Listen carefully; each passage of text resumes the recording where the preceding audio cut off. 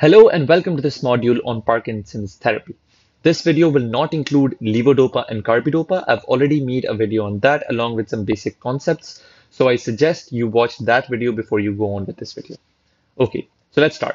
So before we start with anything else, like I did in my levodopa and carbidopa video, I'm going to explain some of the basic concepts, which include that the basal ganglia pathways are divided into direct pathway and indirect pathway. The direct pathway controls the voluntary movement in your body. The indirect pathway inhibits all the involuntary movements in your body. So example of this is whenever a movement is required, such as you want to move your right hand. If you want to move your right hand, the cortex releases glutamate and which stimulates both the indirect and the direct pathway in your basal ganglia. The basal ganglia serves to initiate movement, initiate motor movement. So you want to move your right hand and you want to keep everything else in your body still.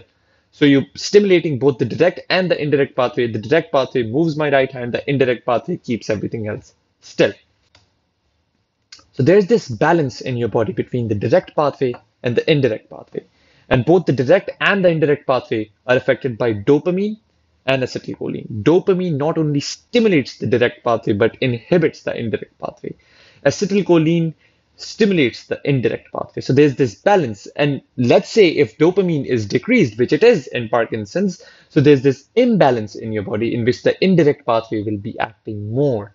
And then you will have stuff like rigidity. Now let's look at tolcapone and entacapone.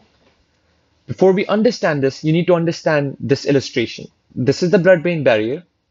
Levodopa crosses the blood-brain barrier, is converted into dopamine. But meanwhile, it's also converted by an enzyme known as COMT. You can remember this by remembering that tolcapone has an O in its name, the enzyme has an O in its name, right? So tolcapone and entacapone inhibit COMT. What COMT does is that it converts levodopa into 3-O-methyl-dopa.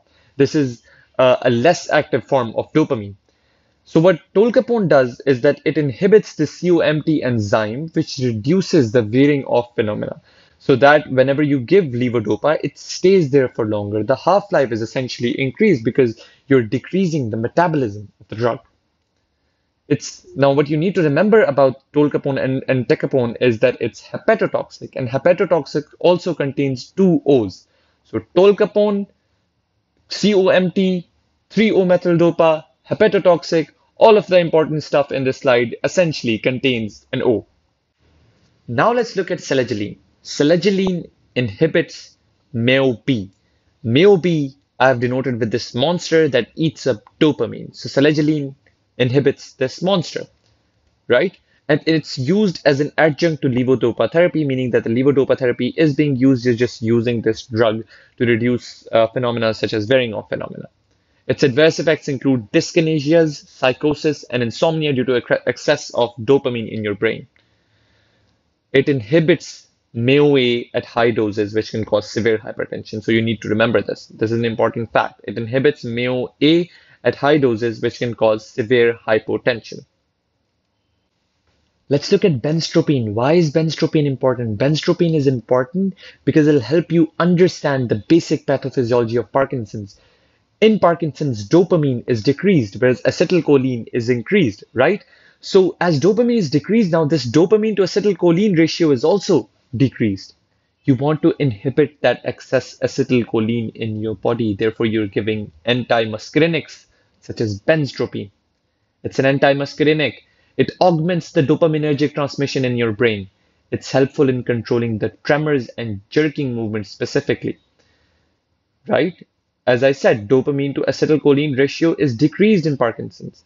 And then because it's an antimuscarinic, it will have all of those antimuscarinic adverse effects, which include dry as a bone due to decreased secretions in your body, hot as a hare decreased heat response mechanisms, decreased sweating, blind as a bat, mydriasis of your pupils, mad as a hatter, confusion, full as a flask, urinary retention.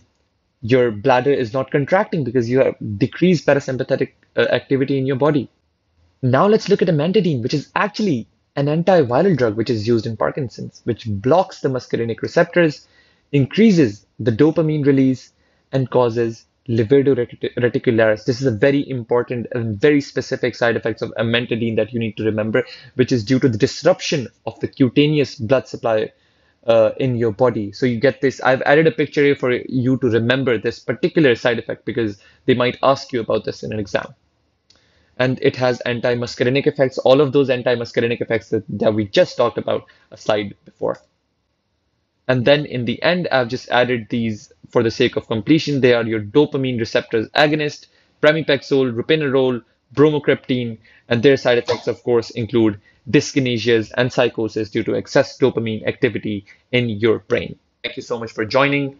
If you haven't watched our video on levodopa and carbidopa, I'm going to add a link uh, in the description. Thank you so much for joining. Subscribe to my channel.